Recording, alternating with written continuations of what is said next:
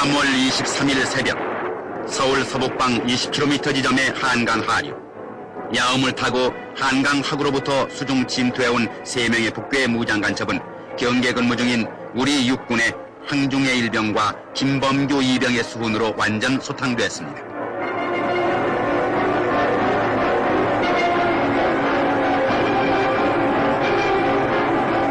새벽 2시 50분 초소에서 약 100m 떨어진 물속에서 3명의 무장공비가 나타났습니다.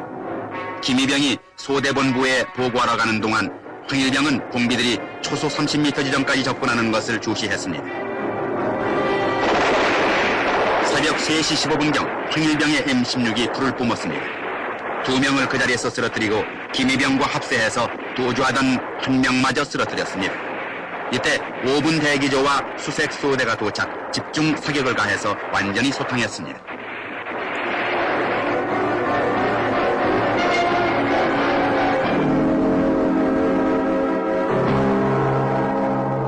무장 간첩들은 우리 국군의 일사불란한 지휘 체제와 철통 같은 경계 태세 앞에 흉측한 발자국만을 남겼을 뿐입니다.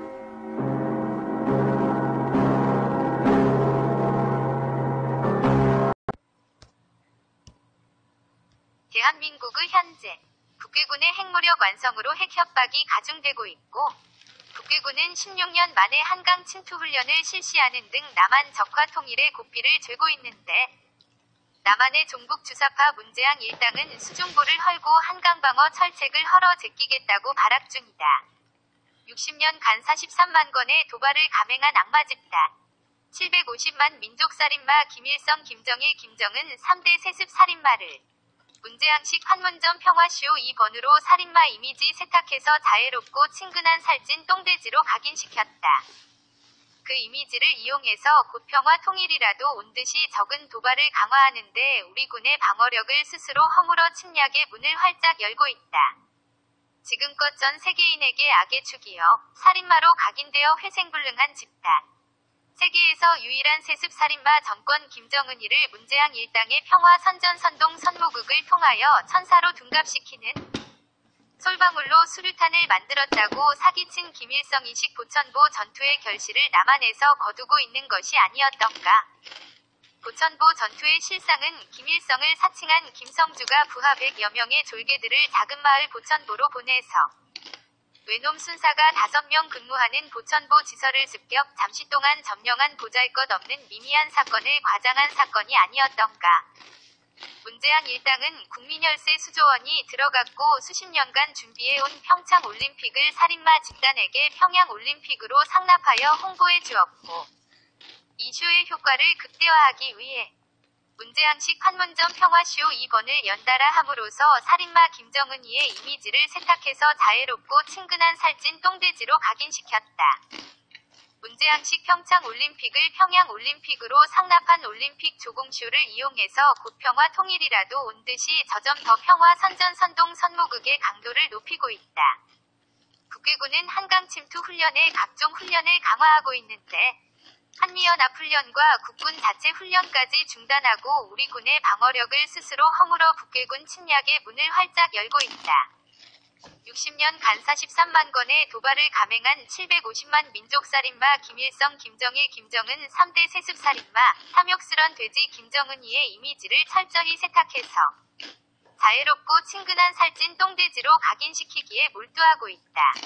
북괴군이 16년 만에 처음으로 한강 침투 훈련을 재개했는데도 3대 세습 살인마를 이미지 세탁해서 자애롭고 친근한 살찐 똥돼지로 각인시킨 후에 종북 주사파 문재양 일당은 포천, 위정부 축선의 대전차 장애물 제거하고 장군 100명 없애고 사병 봉급 파격 인상, 사병 복무 기간을 북괴군의 10분지 1로 단축하고 한강보 철책의 수중보까지 철거 추진하고 있다. 한강철책 철거와 신곡 수중보 철거 선동으로 흔들리는 국가안보. 2018년 6월 16일 북한군이 임진강과 한강이 만나는 한강하고 북측 수역에서 침투 훈련을 여러 차례 실시했다.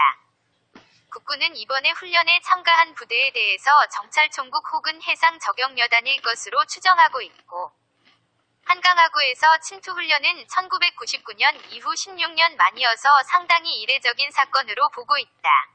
또 연평도 북쪽의 신형 고속정 및 공작 노선도 포착되고 있으며 최근 들어 북한 함정이 4차례나 NLL을 침범하였다. 휴전선 부근의 장사정포도 추가적으로 배치되었다. 군은 북한이 전력의 열세를 만회하기 위해서 NLL 및 접경 지역에서 기습 도발을 할 가능성이 높은 것으로 분석한다. 문재앙 정권의 이런 안보 파괴 공작 와중에도 애국 보수단체는 한강하고 신곡수 중보 철거는 안보 위협 증가로 강력히 반대한다. 1965년 7월 7일 한강하구에서 좌초된 채 발견된 북한군의 2톤급 잠수정.